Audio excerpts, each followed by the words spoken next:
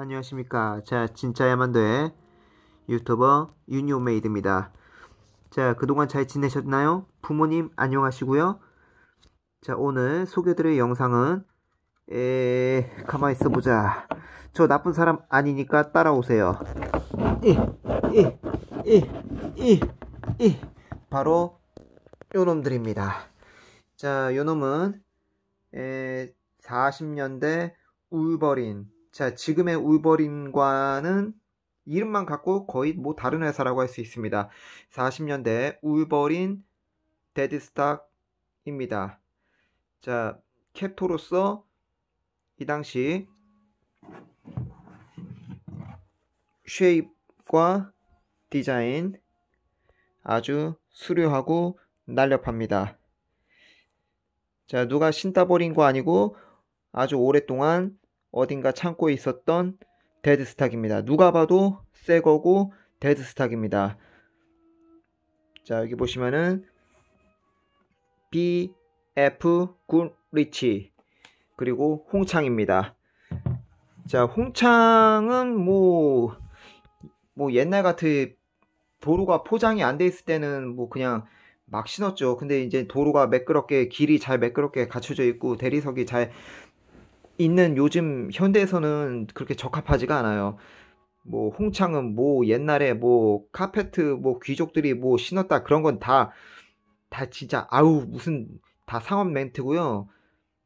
고무 기술이 없어서 그냥 가죽창으로 신는 거예요. 뭐 말인지 알죠?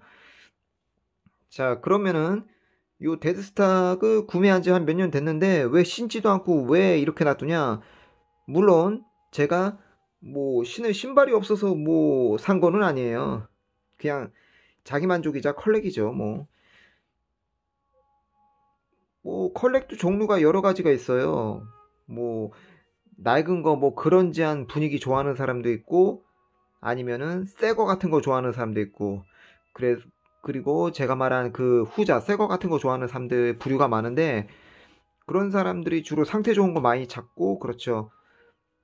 뭐 저는 뭐 상태나 뭐 그런 거 뭐 많이 안 따지는 편이고 한데 그냥 자기 만족으로 그냥 구매한 거예요. 뭔 말인지 알죠?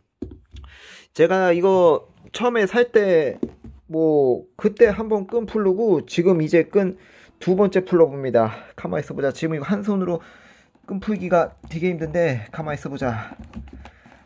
에 그때는 뭐 처음에 구매하고 나서 속이 어떻게 생겼으니까 궁금하니까 안에 한번 들여다 보려고 그때 이거 종이 한번 빼낸 게 전부였고 지금 이제 두 번째 까봅니다.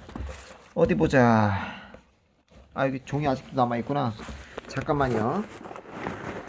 가만히 있어보자. 이미 옛날에 블로그로 다 표현했는데 자 이렇게 생겼습니다. 울버린. 뭐 지금 울버린 천마이라고도 뭐 디자인이 살짝 다릅니다. 이 시대에 뭐 캡토하고 뭐 아까도 말했듯이 회사가 이름만 같지 그때 회사랑 지금 회사랑 다른 거예요.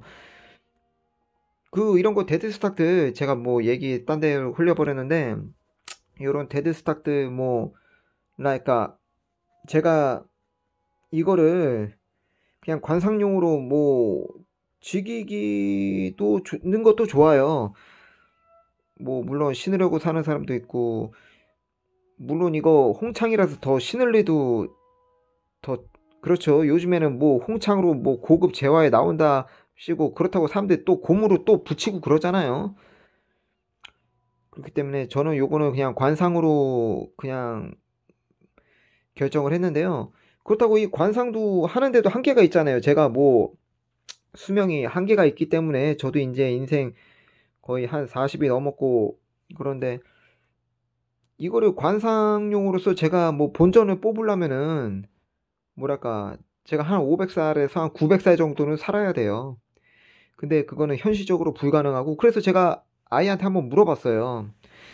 유나야 만약에 에, 아빠가 죽으면은 내 많은 물건들 다 어떡할 거니 한번 물어봤어요. 그더니 아이가 영혼 없이 하는 말, 음, 그냥 다 버려야지.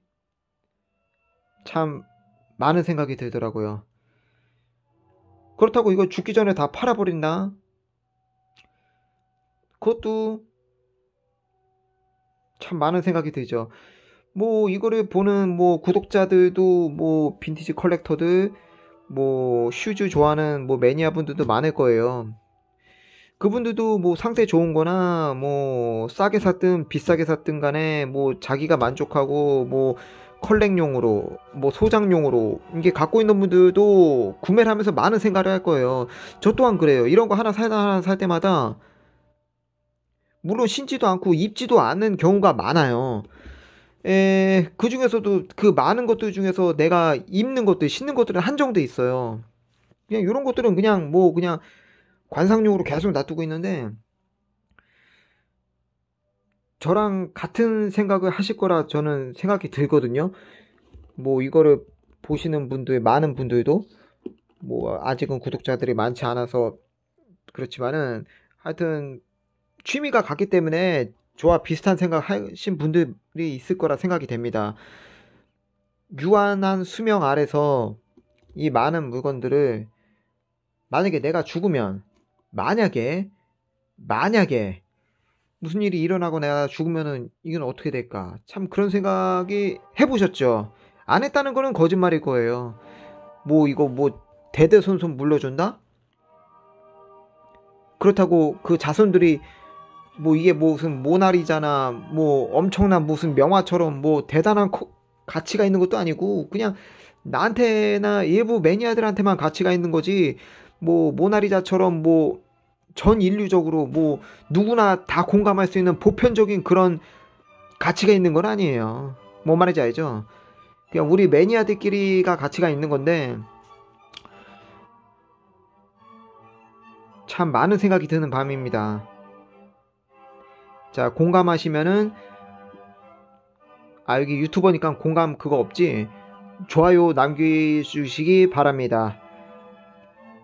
참 많은 생각이 드는 밤이죠? 자, 진짜야만 돼. 많은 구독과 좋아요 부탁드립니다. 그럼 부디